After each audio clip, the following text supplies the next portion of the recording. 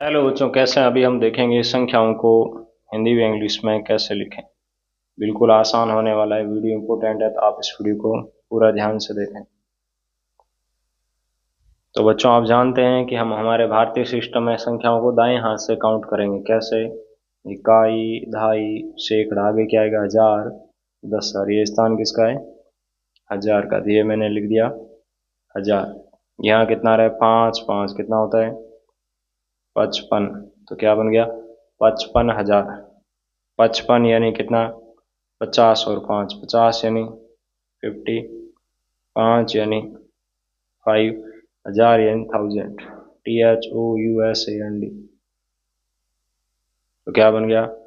Fifty five thousand okay तो इसको आप ऐसे आसान तरीके से समझ सकते हैं।